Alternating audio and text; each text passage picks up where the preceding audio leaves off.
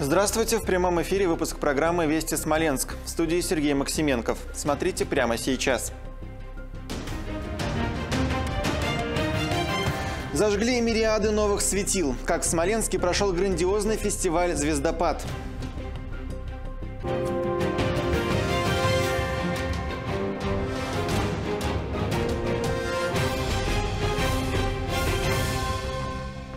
Огни звездопада раскрасили небо Смоленска. На аэродроме Южный вновь прошел фестиваль фейерверков, девятый по счету.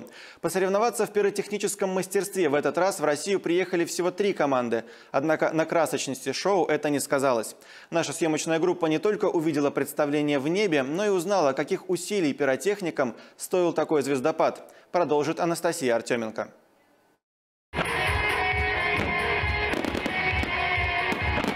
Красочные картины в небе переливаются миллионами огней. Выступление каждой команды начинается с технической минуты. Фейерверки запускают в тишине и всего двух цветов. Следом участники фестиваля показывают свое пиромузыкальное шоу.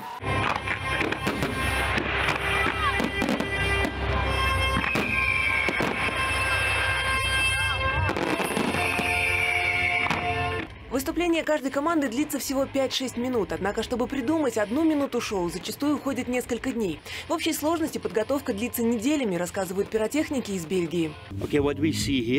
Это одиночные выстрелы single shot. В каждой трубке находится один эффект. Это может быть звезда или комета, выстрел с хвостом. В каждый single shot вставлен запал.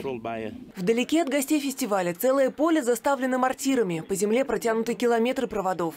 Польская команда проверяет настройки на центральном пульте, в котором секунда за секундой запрограммировано все шоу. А с этой кнопки представление начинается. Как сделаем здесь старт, сделает старт музыка и работает фейерверки. В этом году фестиваль фейерверков проходил в статусе национального события, ведь, одержав победу на федеральном конкурсе фестивалей, «Звездопад» вошел в топ-200 туристских событий России.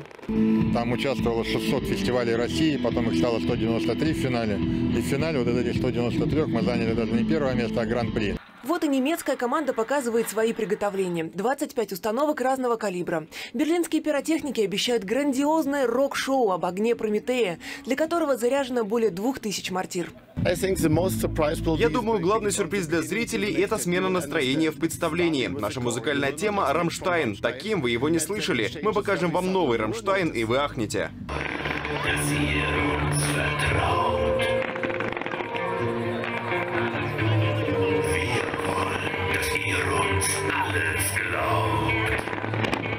Так и вышло. Команде из Германии жюри присудило первое место. Огонь Прометея завоевал максимальное количество голосов гостей фестиваля, получив приз зрительских симпатий. Анастасия Артеменко, Роман Зорин, Вести Смоленска. Thank